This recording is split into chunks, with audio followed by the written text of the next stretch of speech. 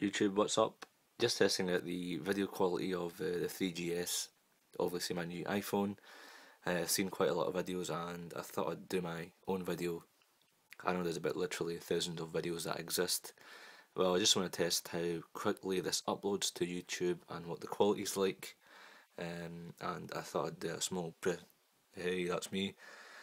Sorry, and uh, I just thought I'd uh, do a small sample test video, if that's what you want to call it.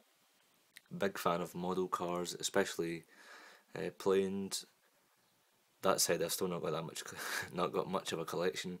Just that, and that, and I've got a small shitty DHL car as well, which is half broken. I don't know. I'm just uh, really into my model cars, but there's the Snowflake, which I got for review purposes a while ago.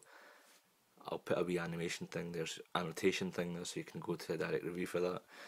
A lot of people have asked me what case I used to use for my 3G. Well, here it is, Incase slider case.